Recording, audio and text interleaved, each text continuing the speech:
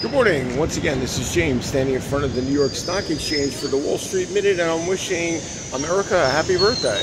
Uh, this July 4th marks the 248th uh, year since the signing of the Declaration of Independence, uh, which was ratified by the Second Continental Congress.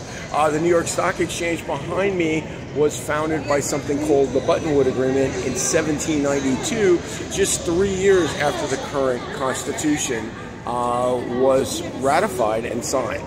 Uh, in that time, we've gone from 13 small colonies to a global superpower with a $27 trillion economy.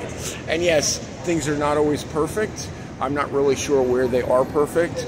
Uh, and despite the negativity of the last 20 years or so, I'd say there's a lot of uh, a lot of future ahead of us right now. Anyway, once again, this is James. Uh, happy Independence Day. Uh, say hello, leave comments, and of course, subscribe to these videos.